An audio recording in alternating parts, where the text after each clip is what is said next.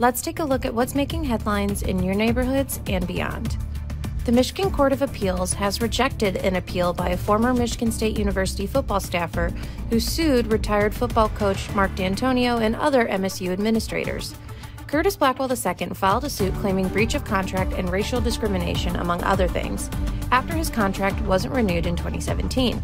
Judge Michael Gadola dismissed the case on the grounds that Blackwell's attorney didn't file a brief explaining the reason for the appeal.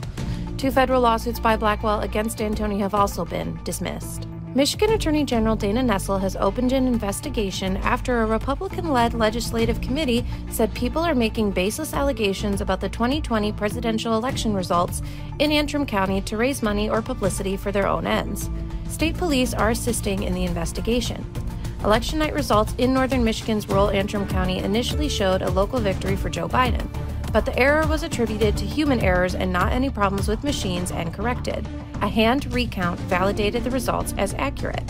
That's it for your look at headlines. For more stories impacting your neighborhood, you can visit our website, fox47news.com. You can also download the Fox 47 News app.